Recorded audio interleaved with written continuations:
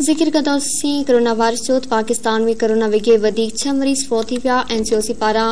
Virus से वधीक पंज सौ पंद्रहं नवनि केसनि जी तस्दीक कई आहे। नेशनल कमांड ऑपरेशन सेंटर तरफ़ां जारी कयल तासन अंगन अखरनि मूजिबि गुज़िरियली सॼे मुल्क में सतेतालीह हज़ार अठ सौ पंजासी माण्हुनि जा नमूना वरिता विया जिन माँ पंज सौ पंद्रहं नवनि केस रिपोर्ट कया विया एनसीओसी मूजिबि गुज़िरियल चोवीह कलाकनि दौरान